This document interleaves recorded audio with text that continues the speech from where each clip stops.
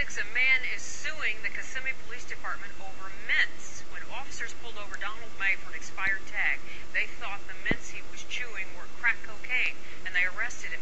May told Channel 9's Mary Wynn they wouldn't let him out of jail for three months until tests proved the so-called drugs were actually candy.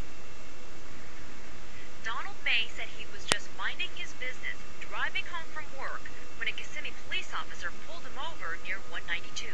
I don't know how how this how it all occurred or May was pulled over because he had an expired tag on his car.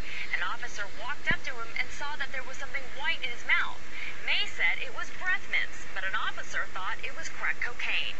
so he took them out of my, my mouth and put them in a baggie and uh, locked me up for possession of cocaine, tampering with evidence. The officer claimed he field tested the evidence and it tested positive for drugs.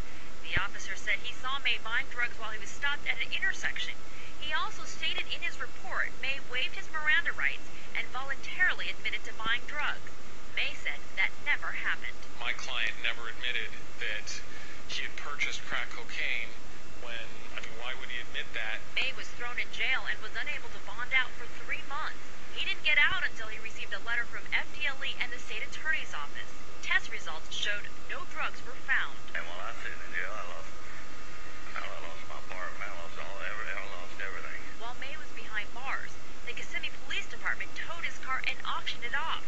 He lost his job and was evicted. Now May is suing the city for false arrest and false imprisonment. He wants to be compensated for the loss of his car and job.